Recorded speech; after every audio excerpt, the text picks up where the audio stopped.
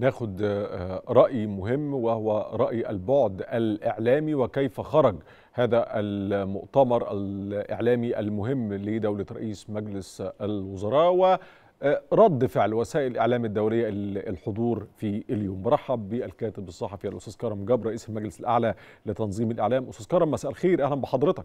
مساء الخير يا أستاذ عمرو. أهلا بك الحمد لله يا فندم زي حضرتك وأرجوك قول لي انطباعات حضرتك اولا يعني كقامة صحفية وككاتب كبير من ما دار اليوم في المؤتمر الصحفي ومن أسئلة وسائل الإعلام أو ممثليها الحضور.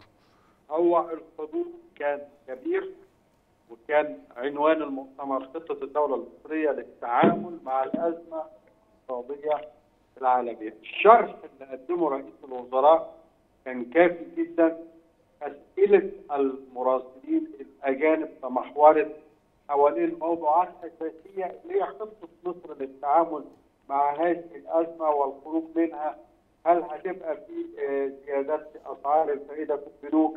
هل هنتأثر بصادرات القمح؟ وهكذا يمكن كانت معظم الأسئلة بتدور في هذا الأمر. المهم أنا أنا عايز أشير لنقطة سريعة جدا تحدث فيها دولة رئيس الوزراء عن ملامح الأزمة العالميه. في عبارات في ثلاث أو أربع عبارات إن دي أكبر أزمة يتعرض لها العالم من 100 سنة. يعني الأزمة الأكبر في تاريخ البشرية في 100 سنة إلى آخره.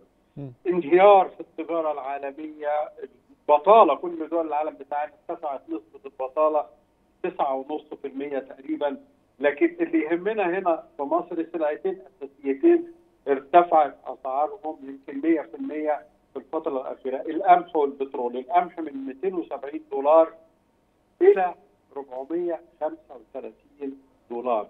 البترول من 67 للبرميل ل 112 يعني إحنا تقريبا إذا كنا بنستورد 100 مليون برميل بندفع بترول 6.7 من عشرة دلوقتي أنت بدأت تدفع ضعف هذا المبلغ. صحيح. صاحب ذلك إيه؟ كمان هروب حوالي 20 مليار دولار استثمارات من السوق المصرية نتيجة الأزمة العالمية وتحريك سعر الفايدة في الفدرالي الأمريكي.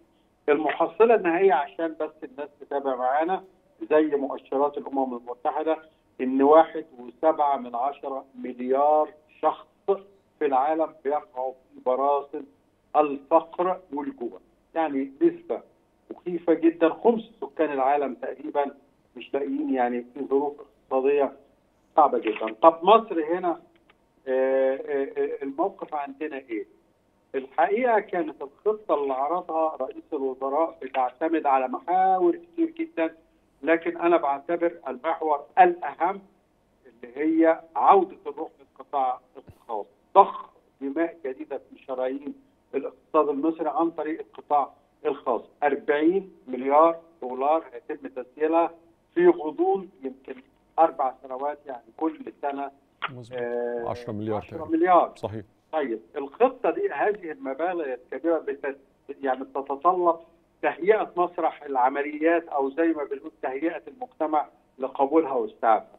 السنوات المرحلة الأولى من الاصلاح كانت البنيه الاساسيه وتبنتها الدولة، المرحلة الثانية القطاع الخاص داخل هياخد نصيبه من 30% من هذه المشروعات إلى 65%. طبعا كان سؤال مهم أجاب عليه رئيس الوزراء مهم جدا. هل الدولة العميقة اللي عندنا دي هتساعد على نجاح هذا المشروع نجاح الاستثمارات ولا هتبقى في تعقيدات روتينية وهيبقى في نفس المشاكل العادية؟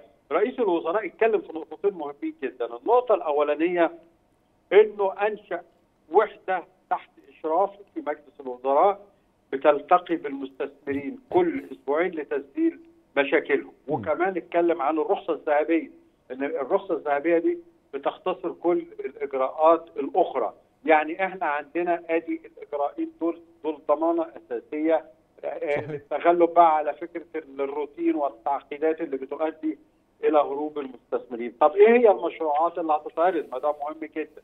ثلاث حاجات مشروعات زي ما قال إن هيبقى فيها تخارج كامل من الحكومة وفي مشروعات أخرى هيبقى فيها تخارج جزئي وفي مشروعات الدولة هتتمسك بها لأنها مشروعات أساسية لا صحيح. يمكن ابدا أن تتخلى آه عنها.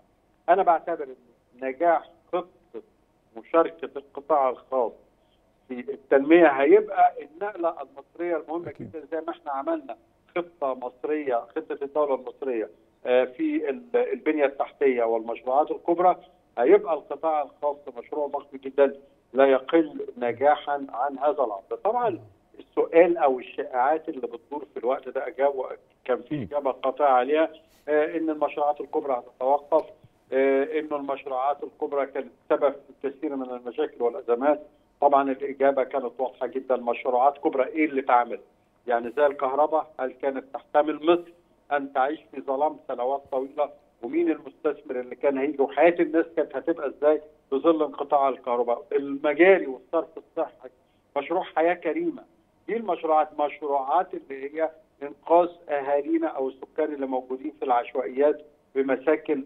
حديثة الطرق والكباري البنية الأساسية بتاعت صحيح. الإنترنت والكلام ده دي المشروعات المهمة جدا ولم يكن آه، ممكنا إننا يعني هذه المشروعات لا يتم تنفيذها.